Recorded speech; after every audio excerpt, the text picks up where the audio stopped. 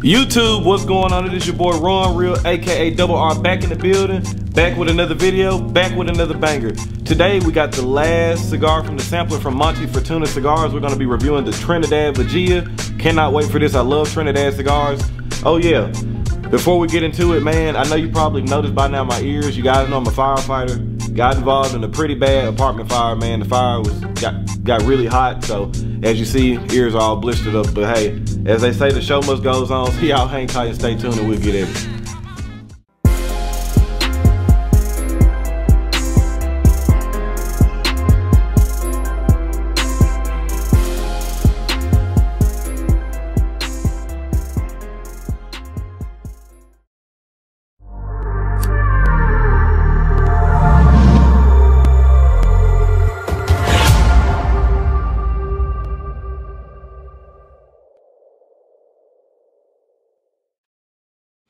All right, you guys, as I was saying earlier, the last of the Cuban series by Montefortuna Cigars. Again, we're gonna give a huge shout out to them for sending that sampler pack over for me.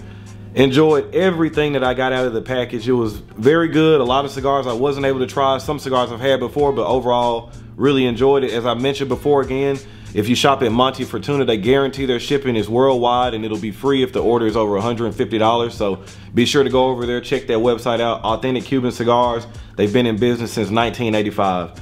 Also, I was just reading a comment that Kevin over at Cigar Prop was saying too. I know he mentioned it a couple times that he was done with the series. Kevin, this is the last video of the series, so you got one more to watch, man. Also want to give a shout out to a couple of my Patreons, man. Shout out to Mystical Gent.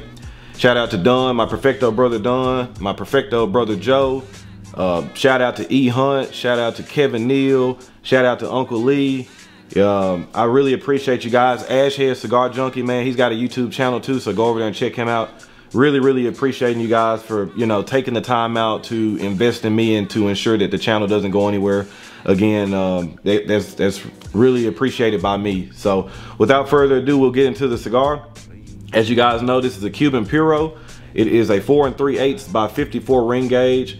Trinidad known for their pigtails, as you can see, got the nice little pigtail on it. Has kind of like that paper bag color brown. The seams are visible, they're really tight though, really, really nice and tight. Quite a few veins on this thing. Actually, I was even looking at through the the band of the cigar, you can see like the imperfections, which I thought was the band, but then it, as I was tracing it, it's the veins in the cigar, but not really toothy at all. It's actually even weird, it actually Smells kind of like how a paper bag smells too. So we'll uh, get right into it, man. Well, I was gonna cut it, but again, I'm gonna try to see if this pigtail will work. So we'll go there.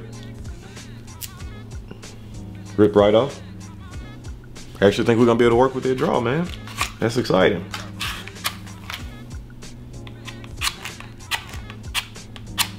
Looking like my boy Martin over here, man. give me another one. Yeah, as I was saying earlier, man, I know y'all are probably noticing like the, the, the shininess of my ears and stuff, man. They're just like all big blisters now from this apartment fire I was in. It was it was really really hot in that thing, man. So fortunately, everybody got out safe. There was no no harm to anybody, no uh, harm to any firefighters or anybody that lived in the apartment too. So that's always the main thing. So hey, I, I count that as a blessing. Immediately hit with that taste that I tell you guys about all the time. It's authentically Cuban. A lot of green tea, a lot of pepper. I say pepper coming in probably about a seven out of 10. It's actually kind of weird. It's kind of like you get you're getting some cedar on that retrohale and then when you're taking the normal draws, I would say it's more kind of in that the line of the oak family. But as I'm retrohaling, that cedar is kind of showing itself too. So liking how this is starting out. So you guys hang tight. I'll get through this first third or come back, you know, when I feel like it's changing anything. Let you guys know body strength, flavor, all that good stuff. So y'all uh, hang tight, stay tuned. We'll be back in. We'll be back in a little bit. All right, so we're, we're pretty much about halfway through. Uh, burnt lines, not razor sharp, but nothing that needs attention or anything. Draw has been very good, especially, I'm gonna try to, at some point on this video, I'll probably give you guys a close-up of, of how much I took away from the uh, pigtail and, and, and the draw is perfect.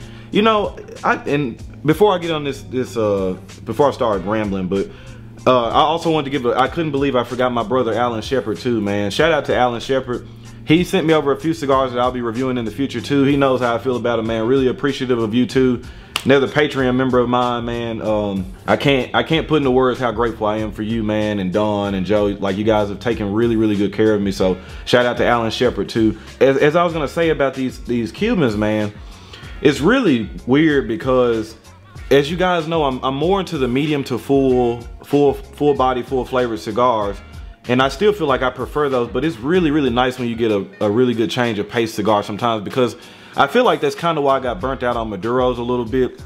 Unless they're well fermented or you can tell they're really aged. Like for some reason, Maduros just aren't hitting my palate right like they used to when I first started smoking. That was the preferred wrapper leaf for me. But now, as you guys know, I love Corojo, love Habano, uh, love really well aged Cubans. And it just over time, you just, you'll get you'll be surprised and captivated at how much your palate can change. I don't even think this Trinidad's that old and it still tastes really good.